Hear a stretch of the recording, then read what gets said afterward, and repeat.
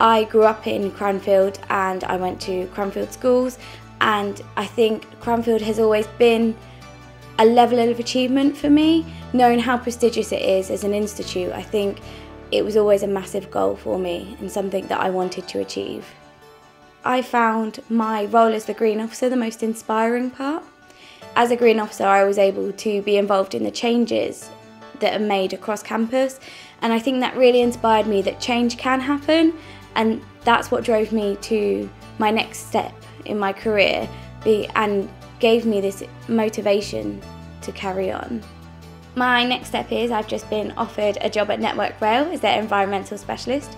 So I'm staying in Milton Keynes and I'm going to be working on their environmental management system and other environmental aspects that we can improve on as a company.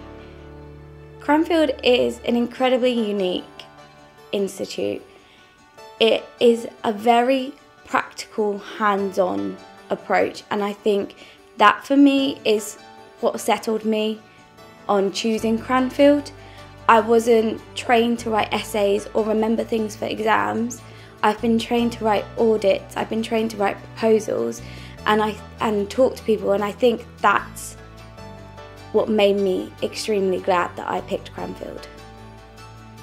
Cranfield is definitely the place for you if you want somewhere that's going to encourage you to be a better version of yourself and I think that's completely true for me.